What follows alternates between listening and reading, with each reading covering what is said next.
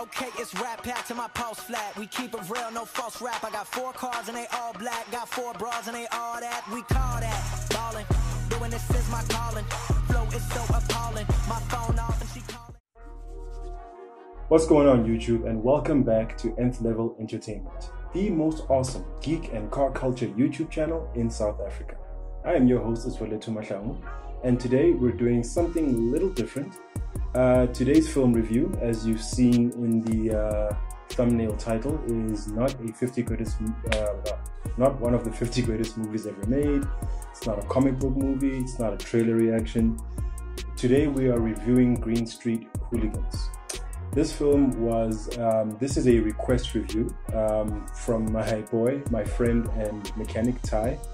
And um, he's been asking me to view this movie for the longest time.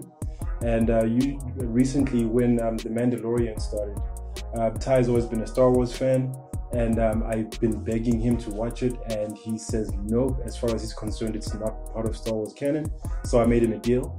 I would say, okay, fine. If I watch and review Green Street Hooligans, please watch The Mandalorian.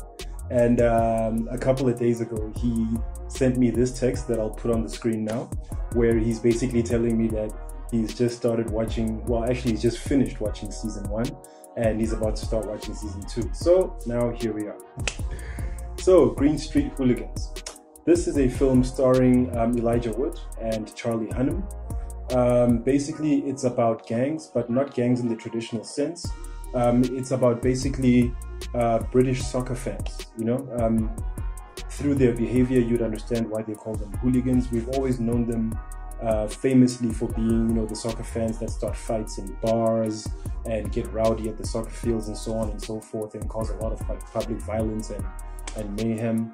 But um, this film actually takes you kind of like into the heart of how these people actually operate in their culture and everything about them. Um, it is quite actually an endearing film because it kind of showcases like a sense of honor within these firms. Uh, basically, they have like a set of rules that they live by, and that you know they don't like just randomly incite violence and do crime and things like that. They're actually upstanding members of the community as far as how they treat other people. So Elijah Wood stars in this movie as a his job as a journalist um, due to one of his colleagues um, framing him, I think, for some sort of like corrupt behavior and actually paying him off to do it before he framed him as well. And so he basically takes a vacation and visits his sister in London um, so that he can clear his head or something along those lines.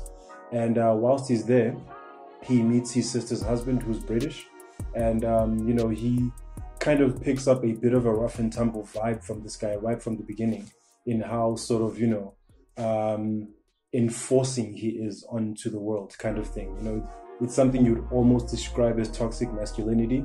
Um, in the sense that you know he's very sort of like no nonsense, he's just a go-getter and so on and so forth. And then it makes sense a few minutes later when we meet his younger brother, who is actually the leader of a gang called the Green Street Elite, or a firm rather, called the Green Street Elite. And this is a British soccer supporting firm.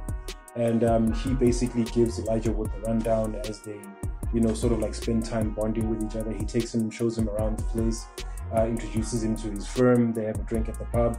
And um, in that whole first act, we actually see a bit of a bonding sequence between Elijah Wood and um, and Charlie Hunnam. And um, what happens is that you know Elijah Wood, being a very sort of like meek and retiring, reserved kind of human being who doesn't stand up for himself and things like that, we see him slowly turn in this way as Charlie really takes him under his wing and shows him you know how things are done in the firm. He even breaks down the rules as to how they operate, and um, they even get into a gang fight at some point, and Elijah Wood is forced to jump in because he's just there, you know. So they also meet a um, Elijah Wood also meets one of their members who's basically kind of like a second in command kind of thing in, in within the firm, who immediately doesn't have a good liking to Elijah because he's an outsider, so he's constantly giving him grief and all that stuff. And Charlie Hunnam is constantly um, protecting him. And um, later on, uh, this guy discovers that Elijah Wood is actually a journalist because his dad actually comes to London and tries to get him a job and gets him an interview at a, uh, I think it's a the Times newspaper or something like that. And um, Bovver is the character who's the second in command of the Green Street Elite. Um, he sees this happen, like, you know, perchance, and he reports this back to Charlie Hunnam. Charlie Hunnam then has it out with Elijah Wood, thinking that we did you just join our gang to try and get secrets so you can write a story about us? And then Elijah Wood explains that no, you know, this and that happened. I lost my job. I just came out here for a vacation. And uh, Charlie Hunnam basically, you know, he takes him at his word and he's like, okay, nobody give this guy grief. But of course, that isn't enough for Bovver.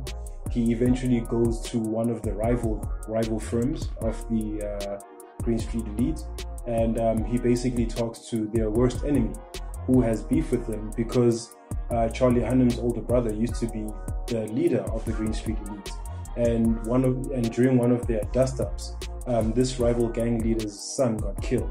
So he's had a grudge with Green Street Elite ever since then. And that's also the reason why uh, Charlie Hunnam's older brother actually quit the, the firm life.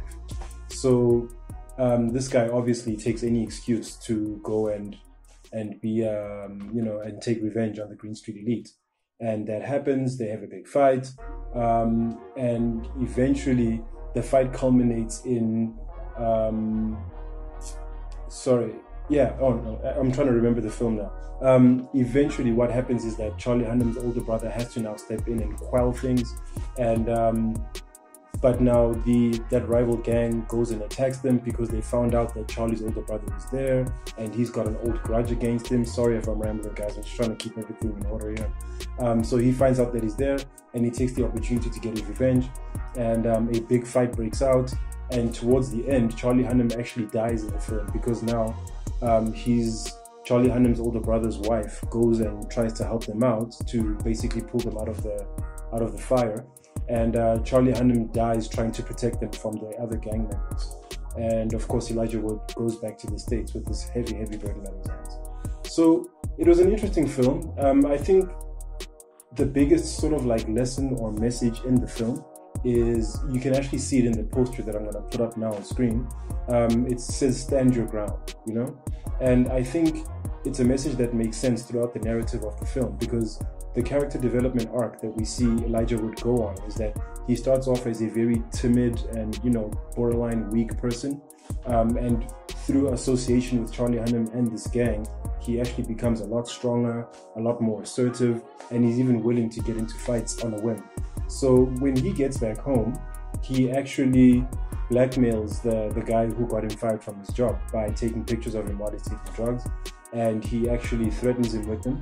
When the guy tries to sort of bully him, he threatens, Elijah Wood threatens him with violence. And then when he watches him shrink, you know, as a bully would when you stand up to them, he realizes that, okay, you know, it looks like we're on the other side of life now. And um, he basically blackmails that guy into getting him a job.